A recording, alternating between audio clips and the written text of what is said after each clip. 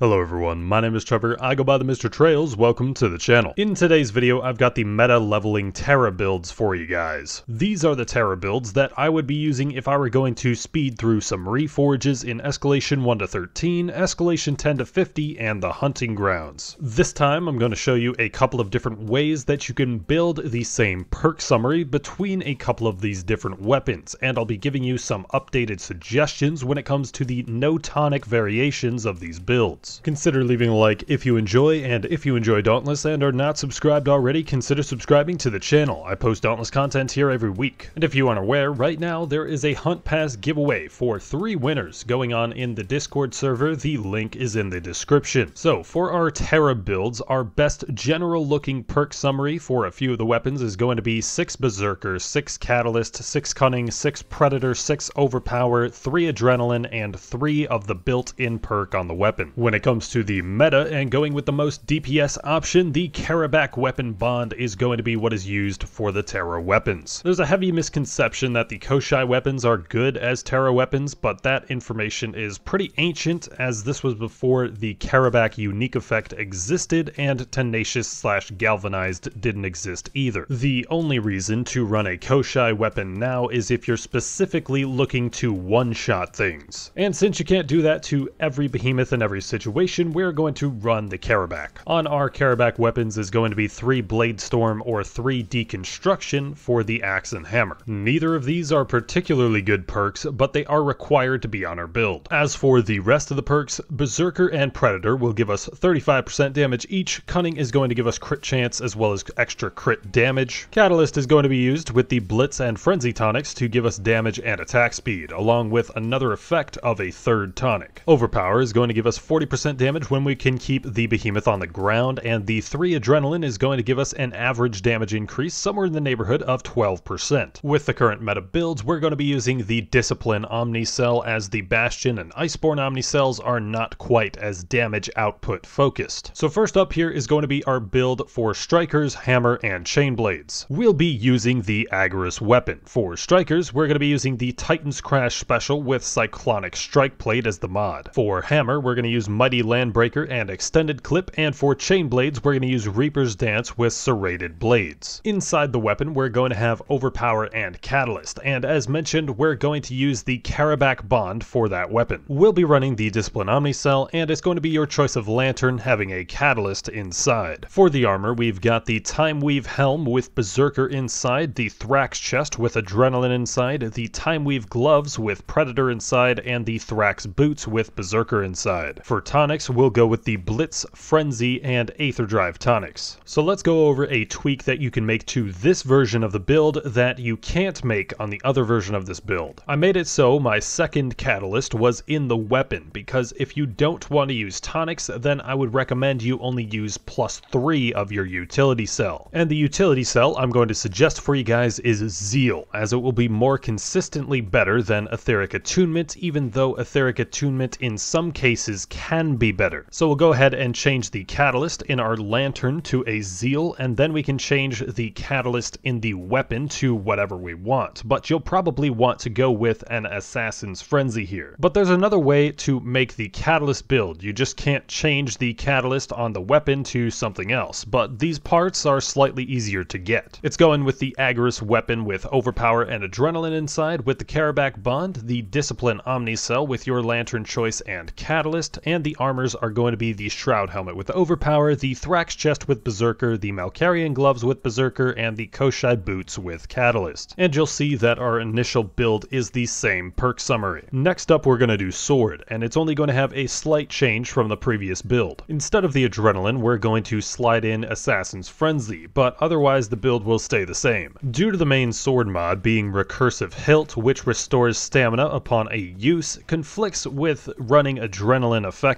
something I failed to consider in my Blaze Weapons video. So we'll rock the Agarus Sword with Overpower and Berserker inside, with Avenging Overdrive as the special, Recursive Hilt as the mod, and the Karabac Sword Bond. And we have the Discipline Omnicell with your choice of Lantern with Catalyst inside. And you can build this with either of the previous armor sets I've used, but let's go over the Shroud Helmet with Overpower, the Thrax Chest with Assassin's Frenzy, the Malkarion Gloves with Berserker, and the Kosh Koshai Boots with Catalyst. For tonics, again, I would recommend the Blitz, Frenzy, and Aether Drive. This sword has an alternative option of Energized as its utility cell, but Zeal is going to be the main one we use. Moving on to Axe now, and Berserker is hard to make use of on the Axe due to the charging mechanic, but the charging mechanic makes it very easy to make use of Adrenaline. So we'll swap Berserker to Adrenaline, and the extra slot that we have will be for an Assassin's Frenzy. And we'll go with the alternative armor set on this one. We'll be running the Agarus Axe with Overpower and Catalyst inside, using the Grim Onslaught special, the Overcharged Cylinder mod, and the Karabac Axe Bond. We are once again using the Discipline Omnicell, and it'll be your choice of Lantern with Catalyst inside. For the armor, we have the Time Weave Helmet with Assassin's Frenzy inside, the Thrax Chest with Adrenaline inside, the Time Weave Gloves with Predator inside, and the Thrax Boots with Adrenaline inside. The tonics are again Blitz, Frenzy, and Aether Drive or Assault. Our perk summary on the Axe build comes out to 6 Adrenaline, 6 Catalyst, 6 Cunning, 6 Overpower, 6 Predator, 3 Assassin's Frenzy, and 3 Deconstruction. Moving on to our Pike build, we have no need for Adrenaline, and Savagery is going to be our main priority, so much so that we're taking out one of the overpowers for it. This will give us the Agarus Pike with Catalyst and Overpower inside. The special is up to preference, but the Savage Wellspring special is particularly good in Discipline builds now, especially when playing in a group. We'll use the Munitions Amplifier mod and running the Karabac Warpike Bond. We're using the Discipline Omnicell, and it'll be your choice of Lantern with Catalyst inside. The Warpike also has additional ways that it can make its build as well. So for the armor, we're going to go with the Time Weave Helmet with Berserker inside, the Quill Shot Chest with Savagery inside, the Malkarion Gloves with Cunning inside, and the Thrax Feet with Berserker inside. For tonics, I would use the Blitz, Frenzy, and Insight tonics. And this means our Pike has a perk summary of 6 Berserkers, 6 Catalyst, 6 Cunning, 6 Predator, 6 Savagery, 3 Bladestorm, and 3 Overpower. And finally for the repeaters, once again, if you are from the future, the repeaters are going to have changes made to them that are not yet in the game. For the repeaters, we're going to be going with the same perk summary as the Blaze builds video, as the only thing that needs to change is the barrel, and you have the same build on another element. But here, I'm going to show an alternative way to make this same build from the Blaze builds. We'll be taking the repeaters with Berserker and any mobility cell inside, and to be a Terra weapon, we'll rock the Animus or Sylvan barrels. You can use your choice of chamber, I prefer the Marksman for quicker part breaking and extra damage boost against broken parts. The Captain's Grip is the way to go, and you can run the Precision Sights, Lucky Magazine, or Tactician Magazine mods. And then the Frostbite Prism is the general way to go for repeaters. And once again, we're using the Discipline Omnicell, and I recommend the Broadsides Lantern for repeaters, and we'll put a Catalyst inside. For the armor, we have the Time Weave Helmet with Assassin's Frenzy inside, the Koshai Chest with Catalyst inside, the Time Weave Gloves with Berserker inside, and the Thrax Boots with Cunning inside. And I recommend the Blitz, Frenzy, and Aether Drive tonics for repeaters. And this will give us a perk summary of 6 Berserkers, 6 Catalyst, 6 Cunning, 6 Predator, 3 Assassin's Frenzy, 3 Overpower, and whatever mobility cell you used. But that is going to do it for this video. Thank you guys for watching, and once again, if you enjoyed Dauntless and are not subscribed already, consider subscribing to the channel. I post Dauntless content here every week, and right now, it's every day. And again, there's a Hunt Pass giveaway going on in the Discord server right now. The link is in the description. I have been Trevor, I go by the Mr. Trails, and I will catch you guys next time.